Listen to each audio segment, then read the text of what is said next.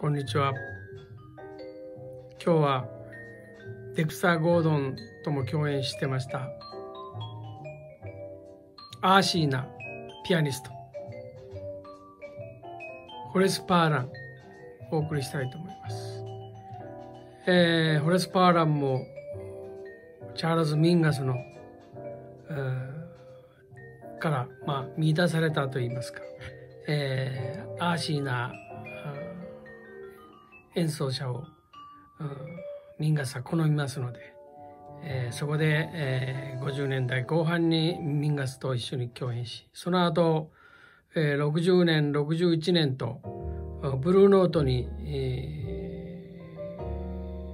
ー、56枚のリーダーアルバムを録音してます。えー、まずあのピアノトリオのですね「アス3という有名な、えー、アルバムがありますけども、えー、今日聞くのはその後そのアス3に入っていた「ウェイディン」っていうえー、アーシーな曲があります。えー、それをその後すぐ何ヶ月か後ですね、えー、クインテットで演奏してます。えー、これがまたあのメンバーがですね、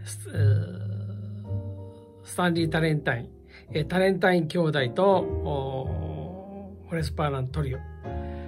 このクインテットで、えー演奏してます。これが非常に本当にアーシーで、えー、ホレス・パーラン、そしてスタスタンリー、えー、タレンタイン、この本当に2人のアーシーな、えー、演奏が聞けますので、えー、これをちょっと聞いてみたいと思います。